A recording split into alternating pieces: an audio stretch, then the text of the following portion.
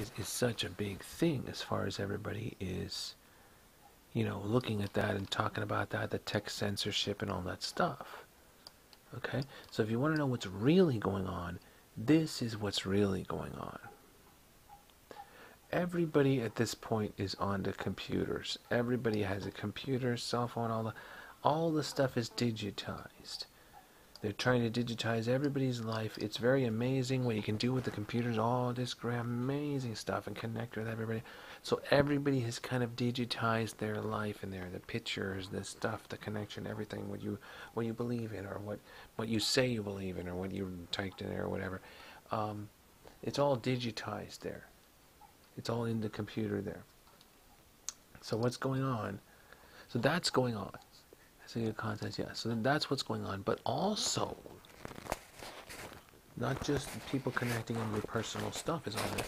Also, what's going on is that the digital and all of this computers and all this fucking stuff has allowed the interchanging of all this scientific information, which is basically scientific information. Scientific and also oh, spiritual enlightenment and all of the secrets of the universe and all this stuff everything the aliens the ancient aliens the spiritual connection the the this and this all the positive the positive stuff and everything like that is all on there and everything as well. But that's not the main thing. The main point is that everything is all digitized there. So they're basically saying, like, whatever, they, you know, the establishment or whatever, or the government or whatever, are basically saying, like, you know, if you're not down with this digital stuff, you know, you're stupid, you're, you're left behind, you need to be down with all this digitizing of everything. Okay?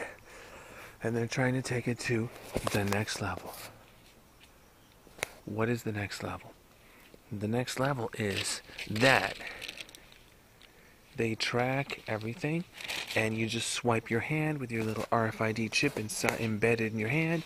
You swipe your hand and they know exactly who you are and they open the door for you and you get to, you know, go party and buy stuff for free or whatever. You know, it's kind of like the digital entryway. So, you know, and so what we're talking about, we're talking about some of these agencies, we're talking about big tech companies, surveillance, and kind of all that stuff, having access to people's private information, which is true about who you are, about what all of your your photographs, your family photographs, is private information.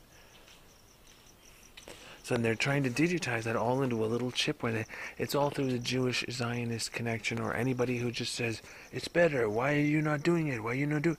You just swipe your hand and you get all the free food. What's wrong with you? So that's what's going on. That is really kind of, you know, the Republican and Democrat, that stuff is going on as well, other debates.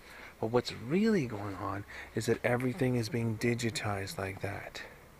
So, it's what Eisenhower said the military industrial complex, if you let them get the upper hand, now they've digitized you, they've they've microchipped you, and um, everywhere you go, they're like, okay, you're on camera over here, and you know, you you just step back into your zone. You know, you can't get into sector B. You have to be in sector A. You know, you're only qualified for sector A.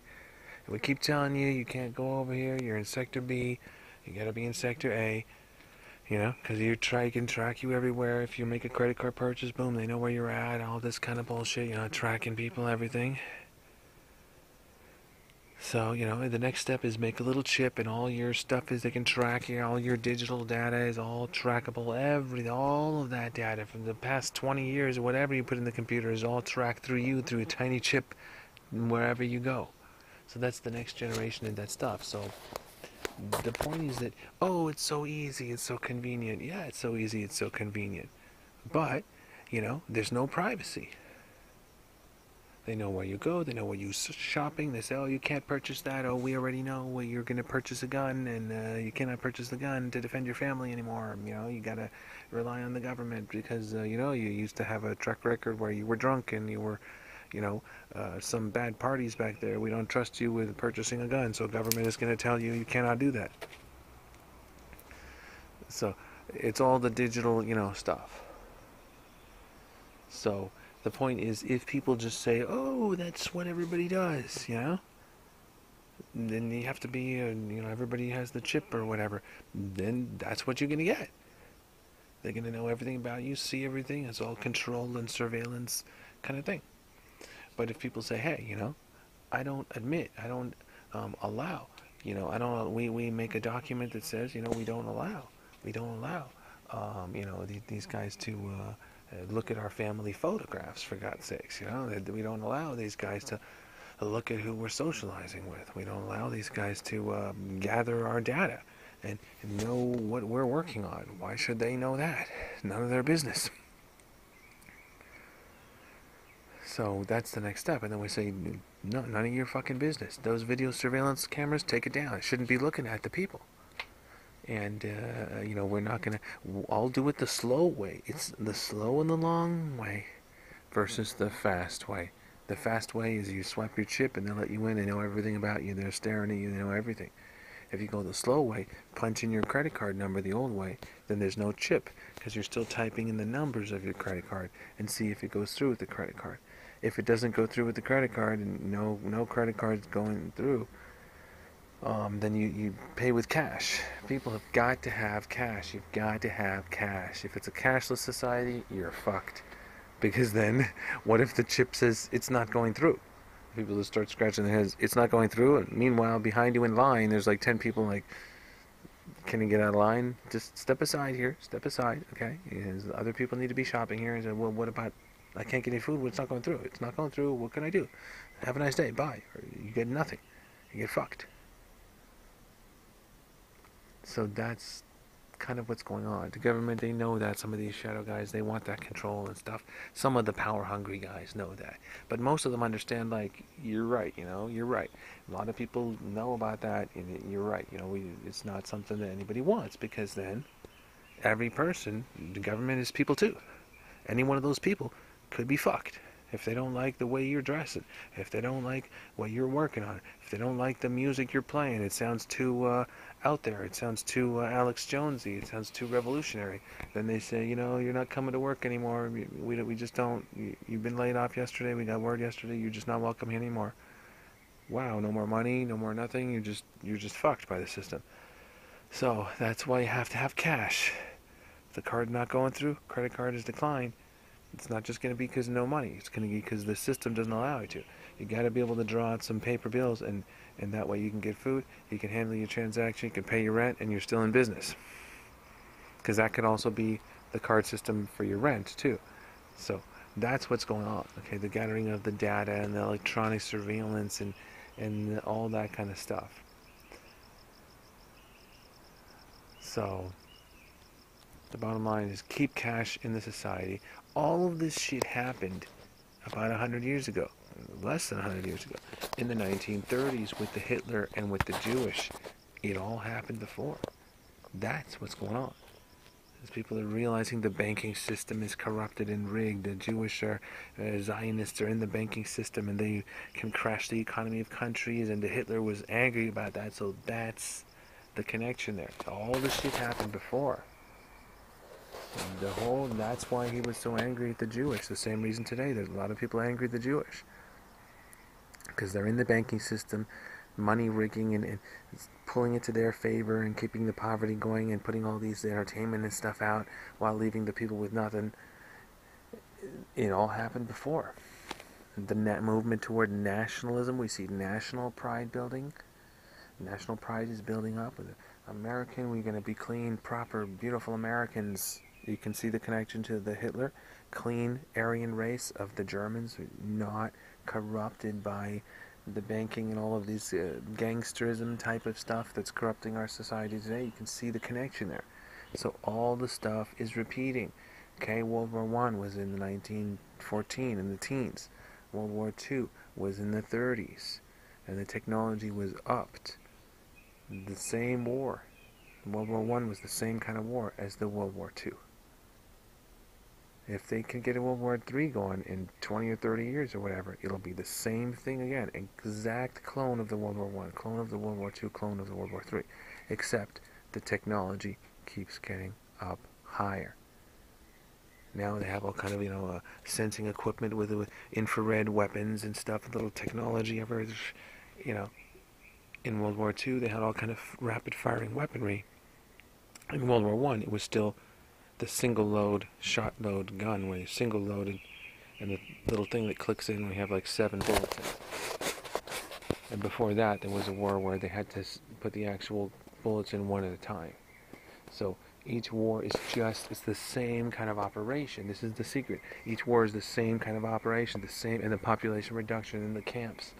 The same operation, then the same operation again, and the same operation again. But the technology goes up higher and who has the government, the military, they have the most technology, they have the best technology, they have the most weapons, the most bullets compared to people. Uh, people, you have to be a, a, redneck guy with lots of guns packing, and then it's only one guy, and they already keep an eye on that guy, and uh, they don't want him uh, distributing the guns and stuff. And it's it's not it's it's a no contest situation. And some people think that in America, if there would be real trouble, that the people would have it'll be a joke, you know, uh, for the government to, uh, you know, the government would not have a chance. The, everybody's armed with rifles. If you live in the cities, it's not the case. If you live in the countryside, it might be possible that, you know, that everybody has a rifle and they can defend themselves. Possibly. But in general, the government has the upper hand. They have army, they have the, the fucking military, they have the army, the cops have a lot of guns. If they could cordon the shit off, you know, it wouldn't be easy because a lot of people would be angry pushing them out of the way, but in some ways they have a lot of weaponry, organization, mobility, and a lot of stuff. But in generally they would be definitely overpowered, but that stuff is not happening. But the point is, during a World War One situation, during World War Two, which is a duplicate, during 30 years from now, World War Three, they just have the more technology the same it's the same kind of an operation that would probably go on. It's just higher technology. Plus this time the Chinese would be involved. In the 30s the Chinese army was like nothing. Now they've got a real army and they got real aircraft. They have the fucking clones of the F-22, F-22 Raptor, the fucking high-tech uh, fighter plane. They got the same thing. Like millions of them lined up on the runway. They have underground runways. China finally has the first aircraft carrier, and they're probably popping out a lot more aircraft carriers. So it's the same thing, is it? You know, except the technology goes up every time. Better technology means faster to kill people. Uh, rifles which shoot out a million bullets as compared to just ten bullets. It's just even more, even more lethal ways of killing. That's what the technology does. Back in the Middle Ages, you had to cut someone with a sword and ride on horses. That doesn't, it's not nothing compared to flamethrowers. The Nazis created flamethrowers. You just burn everything from 50 foot away, and that was a big, big advancement. The Nazis created the machine gun. They put a thing in it. The machine could could kill 50 guys in less than a minute, and then just pile the bodies up into these big uh, open pits. And World War One was the beginning of the of the the beginning of the rotary weapons and the beginning of the reloading weapons and, and the first machine guns and stuff like that. So it's not happening, but 30 years from now, if there is another big war, it'll be kind of, it might be a clone of the same kind of World War One, World War Two. It's a, it's the same kind of operation they try to run. So we have to educate people about it, make sure to shut these guys down, these evil leaders, and make sure there's there's there's there's freedom type legislation that lets people say, hey, if I don't want to join the army, I don't. There's no draft or anything like that. And people have to have weapons. If people come to your home, try to uh, you know uh, draft you into a war, you can say, hey, get off the fucking land, and you can shoot them if they come on your land. And they'll be running away. They'll fucking run away. They're not going to come back to your house. Um, because it's your your property, your land, and whatever the fuck you say goes. That's it. That's the way it works. That's the American way, and that's the way it'll always be. And my dad always said that if the Jewish in the 1930s were to have their weapons, they could have defended themselves. They would never go to camps. The fact that they had nothing, they were disarmed. And if you look at history, it's probably true that Hitler probably collected the guns. He was not allowed to own guns and stuff. There you go. That's the reason why. They try to collect the guns first If they can collect the guns, then they know the population is disarmed, and now they have to go along with whatever the plan is. Otherwise, step back, you can't do nothing. There's nothing they can do because they have no way to enforce it. So make sure nobody collects your guns, and you're still you're in charge, and that's it.